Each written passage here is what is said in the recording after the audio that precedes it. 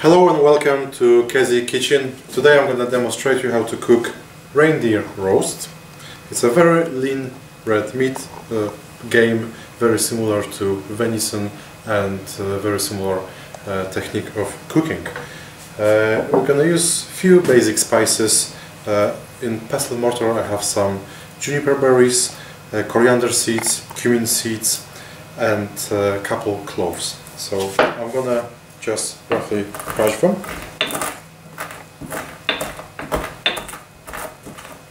Just enough to get a flavor out of them. And get ready with salt and pepper. Okay, so next step is to heat up the pan and make sure uh, this is quite hot. Uh, you can use all-purpose oil, just a splash in the pan. Again, make sure it's almost smoking. Then place your joint in the pan and we're gonna sear it. So just leave it on each side for about 5 10 seconds and keep turning it around.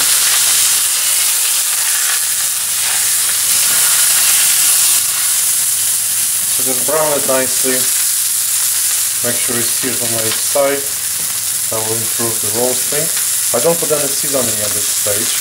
There is no salt, especially no pepper or the other spices because they would basically burn. So we're gonna put them just before the joint gonna go into the oven. Okay, so now our joint is ready for roasting. We're gonna get some basic root vegetables to light the tray with them. Just roughly show a little bit of leek, some parsnip, not too much. If you're making a gravy or jus later, that will help to get some extra flavors and also will add some nice flavors to the reindeer.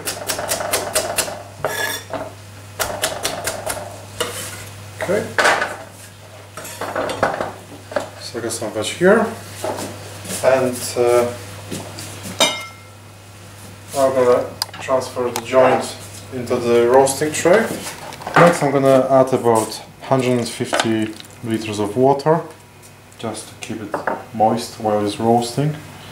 Then our dry spices, just rub it all over the meat there will be some on the tray with the vegetables and the water, so they will help to infuse everything. Next, generous sprinkle of black pepper and some sea salt, quite a generous sprinkle as well. That will help to get a nice golden brown color on it as well. And basically this is now ready to go into the oven. So now this is all ready. It's gonna go into the oven, uh, medium hot oven, about 180 degrees, and uh,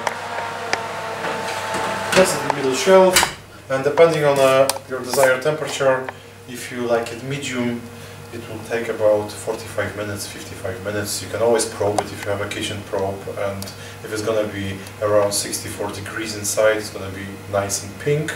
If you want to cook a little bit more, over an hour and 70-75 degrees So our reindeer roast is now ready. It has been resting for about 15 minutes and is ready for slicing.